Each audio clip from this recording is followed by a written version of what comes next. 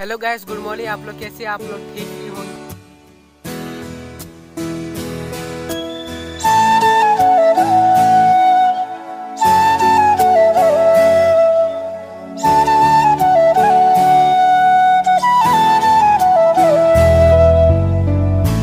मैं थंबनेल देख आपको पता चल गया कि